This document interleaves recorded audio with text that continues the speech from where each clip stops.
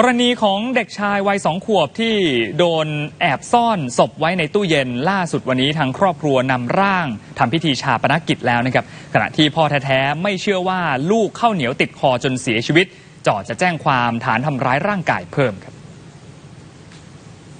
นายนพรัตน์พ่อแท้ๆของเด็กชายวัยสองขวบ ได้เดินไปกอดโลงศพเพื่อบอกลาลูกเป็นครั้งสุดท้าย ก่อนที่จะนำร่างลูกชายเข้าทำพิธีชาปนกิจ คุณพ่อยืนยันว่าไม่เชื่อนะครับว่าลูกชายเข้าเหนียวติดคอจนเสียชีวิต และเตรียมจะเข้าแจ้งความเพิ่มเติม กรณีที่ลูกชายถูกทำร้ายจนร่างกายเขียวช้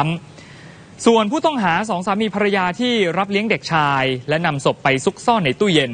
วันนี้พนักงานสอบสวนสพบางบัวทอง ได้นำตัวไปฝากขังผัดแรกที่ศาลจังหวัดนนทบุรี ระหว่างมีการคุมตัวขึ้นรถคุมขัง ผู้ต้องหายืนยันไม่กังวลที่พ่อเด็กจะแจ้งความเพิ่ม เรื่องทำร้ายร่างกายน้อง โดยเชื่อผลชนสูตรของแพทย์ ว่าเด็กสำลักข้าวเหนียว แล้วขาดอากาศหายใจ